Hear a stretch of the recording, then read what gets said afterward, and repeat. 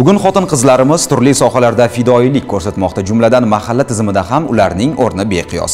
Ish jarayonida xotin-qizlarning texnik imkoniyatlarini oshirish maqsadida qo'shimcha imkoniyatlarga ega planshetlar topshirildi. Hozir shu haqda. O'rta Chirchiq tumani hokimligi tomonidan 57 ta mahallalarning xotin-qizlar faollariga planshetlar topshirildi. Tuman hokimi boshchiligida o'tkazilgan mazkur yig'ilishda Ichki ishlar boshqarmasi, oila va xotin-qizlar bo'limi vakillari hamda jamiyatda faol xotin-qizlar ishtirok etishdi. Bu planshetlarni olganidan biz xotin-qizlar juda mamnunmiz. Chunki ishimizni samarali va sifatli olib borishimiz uchun bu zamonaviy planshetlar anchagina qo'l keladi.